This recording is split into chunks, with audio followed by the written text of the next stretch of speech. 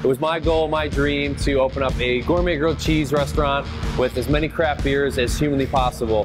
And we fortunately achieved that goal. Sourcing the, the best local ingredients, producing the best, biggest, and boldest flavors, and these big, massive, awesome grilled cheese sandwiches. You know, beer and bread are first cousins.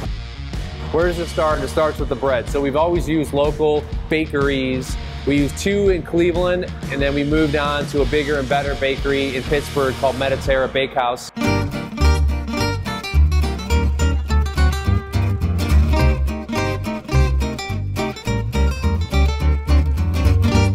What's up, everybody? Welcome to Mediterra Bakehouse. I'm Matt Fish, owner founder of Melt Bar and Grilled. I'm here with two of my favorite people on earth, Mr. Andrew and Mr. Mike. These guys are instrumental in making our bread, which is the cornerstone, the foundation of every single thing that we do at Melt. Without Mediterra, without our bread, we are honestly nothing.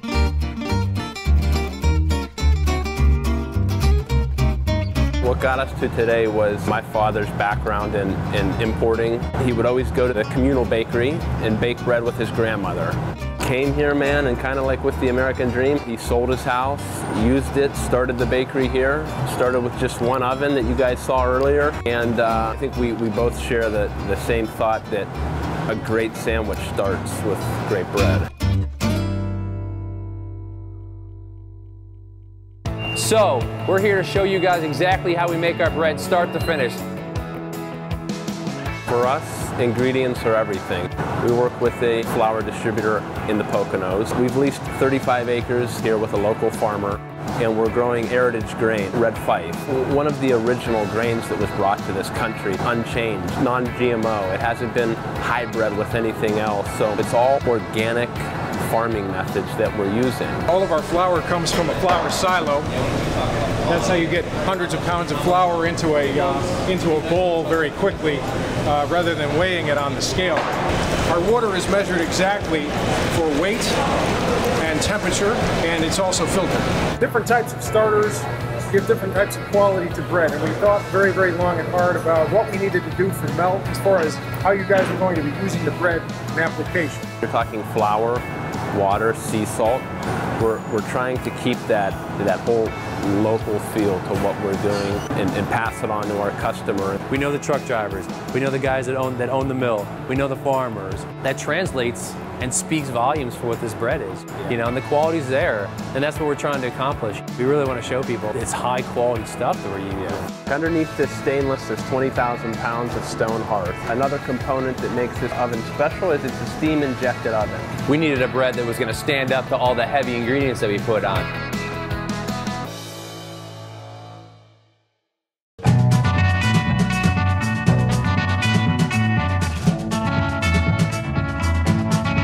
No sentence has been completed without talking about a person or talking about a set of hands. We have amazing, amazing employees. I think what makes Mediterra so special and the product so special is them. No job in Mediterra is below another if you're the uh, the novice that for that day, you're just putting bread in the basket or just putting bread on the board. That particular job sets the tone for what the product's going to look like going into the oven. Everybody has a sense of worth. Every single person from start to finish has something to do with yeah. this bread. Every stage along the way is hugely important to what this end result is going to be. We consider Cleveland home, even though we're from Pittsburgh. We were born and raised, you know, in Youngstown. We love the Indians, we love the Browns, so Cleveland's always been our home. And we wanted to be a part of that scene, and we knew one of the things we had to do was showcase our bread, and we, we first did that at the West Side Market. Where the bread comes from, to us, as a gourmet grilled cheese restaurant, is hugely important. You can't lose touch with who you are. It's the one thing that, that my dad has always instilled with us.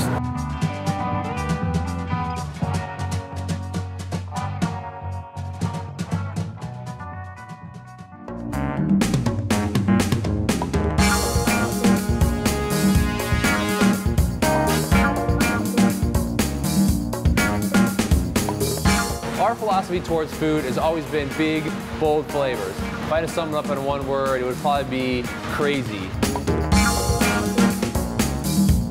If it says it on the menu, you're gonna taste it. Roasted garlic, onion, rosemary, every flavor profile you can think of That's gonna smack you over the face.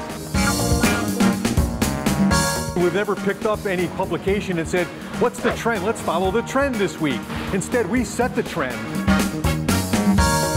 The recipes have definitely evolved. What we've done is we've taken more of a precise scientific approach to our recipes where instead of doing volume measurement with all of our recipes, we've converted everything to weight. So we've taken more of a baker's approach. Quality and consistency of all of our recipes and all of our food is hugely important.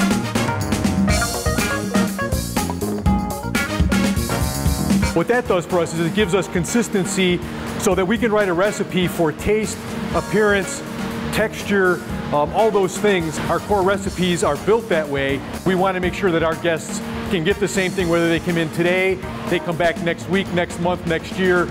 We want that product to be exactly the same. We take that philosophy a step further and go to our stores. So our line cooks, our kitchen managers, our chefs that work in the store. We want to think outside the box. There's really nobody else in the country, in the world, doing exactly what we're doing at Melt Bar and Grilled.